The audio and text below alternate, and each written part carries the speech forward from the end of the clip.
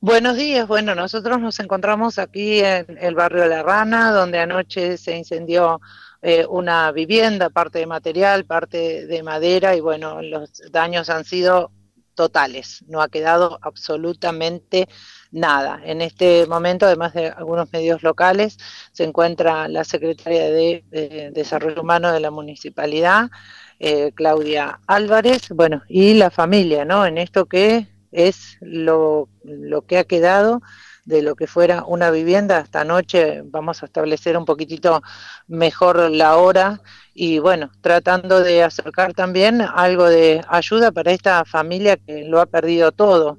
Ah, vamos a ver si podemos primero hablar con, con la propietaria del lugar y después con la secretaria de Desarrollo Humano. ¿Qué tal? Buen día, ¿cómo estás? ¿Tu nombre? ¿Cómo estás? Araceli Espíndola. Araceli, contanos, ¿cómo fue? ¿Estaban adentro? ¿Qué pasó? Eh, la verdad no, no sabemos cómo sucedió, no estábamos en el, justo en el momento, en el lugar, eh, habíamos salido y la verdad que no sabemos. A media hora de lo que nosotros salimos fue lo que nos le avisaron a mi pareja y ahí fue cuando él se vino, pero ya en la totalidad no había nada. Tenían una parte de madera y estaban realizando algo material. Sí, Teníamos una partecita de madera y una piecita de material con un pequeño baño que también estábamos haciendo de material. Bueno, ¿cuántos chicos tienen? Eh, tres varoncitos. Tres. Bueno, ¿las edades? Eh, ocho, nueve y diez años. ¿Alrededor de qué hora eh, te, tomas conocimiento vos? Seis y media más o menos fue, seis y media.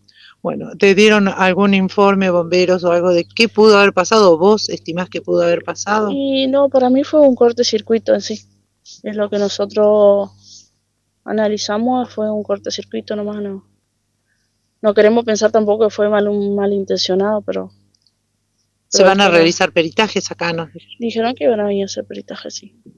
Bueno, ¿dónde han pasado la noche? Eh, me quedé en la casa de mi mamá esta noche y bueno, ahí estamos por acomodarnos hoy ya. De día es otra cosa, para ir organizándonos. ¿Perdieron todo? Sí, todo, ¿Solo quedaron con lo puesto? Solo con lo puesto. Los niños también solo con lo puesto y bueno, decir que tenían su mochilita con sus útiles, si no iba a ser otra cosa también que... Pero bueno, lo importante es que estamos ahí nosotros más que nada. ¿Las criaturas cómo están? ¿Cómo tomaron este evento? Y ellos no, no, no, no vinieron hasta acá, no vieron nada, pero sí se les dijo que se perdió todo y ellos, ellos te entendieron, se pusieron mal, pero entienden. Bueno, eh, ¿la garrafa que veo ahí es una donación o lograron sacarla? No, eso han retirado los bomberos cuando vinieron, pero no sé si va, si va a servir eso. Esperemos que sí. ¿Vos no eh, habías dejado luces prendidas o algo así? Sí, la luz de adelante y la de atrás y suelen tener problemas de que se recalienten los enchufes este, eh, eléctricos. Como que da un bajón, apaga, va y viene la luz y también algo de eso, capaz que habrá sido, sí. Bueno, vos sabés que hay este, a nivel local y a través, bueno, la Secretaría también, unificando eh, un llamado a la solidaridad para poder este, asistirlos. Sí, sí, me, me estuvieron llamando y comunicándose conmigo y trayéndome muchas donaciones eh, muchas gracias por eso y bueno, ahora a poner fuerza y a levantarse nomás de nuevo.